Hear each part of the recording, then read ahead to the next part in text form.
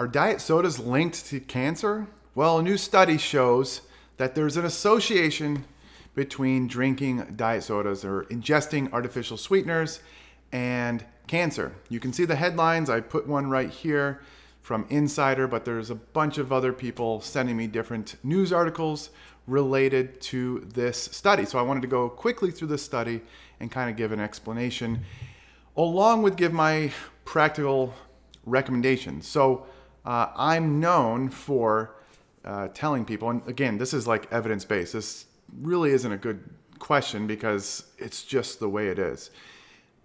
I'm a cardiometabolic specialist physician. Uh, I specialize in obesity medicine and lipidology, uh, lipids, cholesterol, that type of thing. And the bottom line is that replacing sugar sweetened beverages with artificially sweetened or non nutritive sweetened beverages, such as diet soda, is beneficial for our health in terms of cardiometabolic health. But when a news article like this comes up, my patients and followers then say, hey, uh, I might get a little bit leaner, but am I increasing my risk of cancer? So I want to quickly go through this study and kind of give my thoughts so um, to decrease your worry if you're my patient or one of my followers. Okay, so this study was this artificial sweeteners and cancer risks results from the Nutrinet Sante population-based cohort study. So, and usually in these in studies that we want to determine um, uh, a true causal effect, we want to do a randomized controlled trial. Now, it's not always possible, so then we have to rely on some of these this more observational um, data. And you know, one of the best ways to do this, they do what's called a prospective cohort. They grab a bunch of people and they follow them for a certain amount of time. And then they look at their characteristics and try to figure out what they're doing, what they're eating, like in this case, uh, any other of their other activities, physical activity, whatever, whatever they do, characteristics of, they, of those people, and then they watch them over time and see what's, what happens to them. So, uh, you know, they look at other cohort studies, they watch people and take pictures of their hearts and do all sorts of stuff and look at what biomarkers and everything that's related to heart disease. In this specific one, they looked at almost 103,000. They said 102, uh, 102, 80, 865,000 adults from a French population. And they followed them for almost eight years, 7.8 years. And what they do during this specific cohort, they did what's called a 24 hour dietary recall multiple times throughout the, the studies to try to get uh, some sort of prediction of what these people are consuming. And in this specific one, they were trying to figure out, obviously, the relationship between the ingestion of artificial sweeteners. They have um, aspartame is, is the one that you see mostly in diet sodas, but they but they also mentioned acesulfame K, uh, which uh, is, is, sometimes an artificial sweetener you see. They don't really talk about sucralose much. They mention it, but um, they, they saw the most uh, signal from uh, the aspartame or acesulfame uh, K. And when combined, they saw for those who, the highest consumers compared to non-consumers, they saw a 13%. You can see right here, there's a something called a hazard uh, ratio, the, the risk compared to those who don't, there's like a 13%. They'd say 1.1. That's 13% increased risk of these cancers. Now, I think they did a really good job at like at explaining this study in the um, in the discussion. You can you can actually go here if you want to. I can put it in the notes and look at what they did.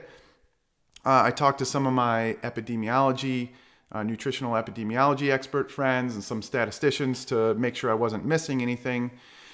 And um, the the thing is, though, you know, when we, you, you've seen some of these other studies come up in the in the headlines when it comes to like weight gain. So some people think artificial sweeteners cause weight gain. It's kind of a very similar types of studies where it's like, huh, these people that consume the most artificially sweetened beverages uh, tend to gain the most weight. And so it's like, I guess artificial sweeteners cause weight gain.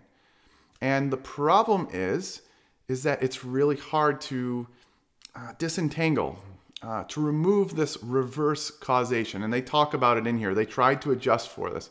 Reverse causation, let's say, is it the artificial sweeteners causing weight gain? Or is it that people that gain weight and have obesity and overweight, they tend to just drink more artificial sweetened beverages? Now, the, the, again, through statistical analyses and, and uh, adjustments, they do try to um, fix that. Uh, but they uh, it's it's really hard it's really hard to do it. So they say here like limitations of the study include selection bias, residual confounding, reverse causality, and but they did these sensitivity analysis to try to address these concerns. Now the thing is, if you look through this study and they talk about in their discussion, I think they did a good job at least talking about this. They they say they tried to adjust for these things, but at the same time, the cancers that they found were most related the same thing, the same cancers you see for people who uh, have obesity or overweight, weight related cancers. What this leads me to believe is that they're just not able to completely adjust for the these the the reverse causality, the the the confounding, and those people likely are just it's it's coming from this weight and weight related disease and and and overall weight milieu, uh, so to speak. So, my practical uh, takeaway and recommendation is to still, if you're drinking regular soda, because we already know that regular soda and sugar uh, increases weight, which then increases risk of cancer. Now, I'm not going to say sugar equals cancer. What I'm saying is that it's easy. We're we readily overconsume sugar sweetened beverages and, and higher calorie yummy foods, which leads to weight gain, which then leads to increased risk of cancer. And probably if you have a a dearth, how about that word? A, a decrease in whole food type of intake and you're eating more ultra processed foods, there may be some risk there beyond weight. Uh, that we just don't understand just yet. But I would say a lot of it's uh, related to energy balance and adiposity, which is also related to our caloric intake. So I would still say replace your sugar sweetened beverages if, if, if, with water ideally, yes, with water.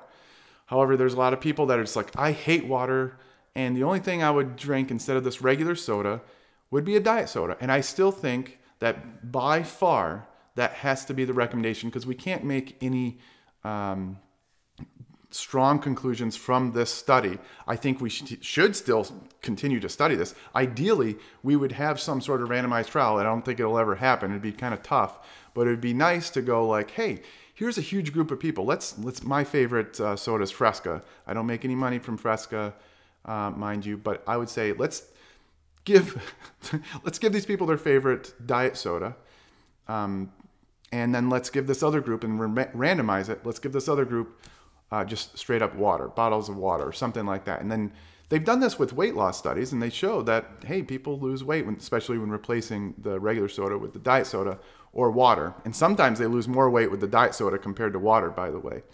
But if we could do this, and you have to you have to watch them over a long period of time, cancer doesn't just pop up within a year or two. So it has to be a long a long, uh, a long um, time to be, and it's in a specific type of population, a little bit older population, can't be younger, uh, because as you're older, you do have the higher risk of cancer and things like that. So they'd have to randomize it and then follow them for eight years at least or so. I'd have to get a, an oncologist uh, and an epi oncology epi expert to to confirm that. But uh, it would be nice to do a randomized trial now the signal was small enough in this, and there's so much, there, there's not a lot of mechanistic data to, to, to point towards this being biologically plausible, meaning like, wh- what, what is the mechanism here? I think the mechanism is that there's not an actual mechanism. It's just that this people that tend to be heavier or gaining weight tend to try to drink more of these artificially sweetened beverages, which then, as they're gaining weight, they're at higher risk for these cancers. And it's, it's hard to just adjust it.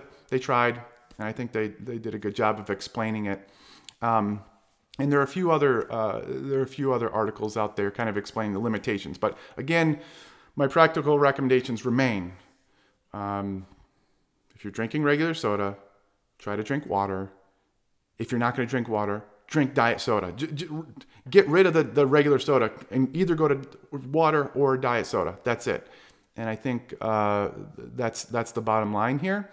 So again, if you like these YouTube videos, I just thought I'd try to do this again and try to find an easy way um, to do this. I mean, my brother and I, we do these podcasts. We did a podcast all about artificial sweeteners and weight. Um, it's a good discussion, but uh, I can do this little screen share here uh, very quickly. So let me know in the comments, uh, subscribe, share with your friends what you think, and uh, thanks for listening.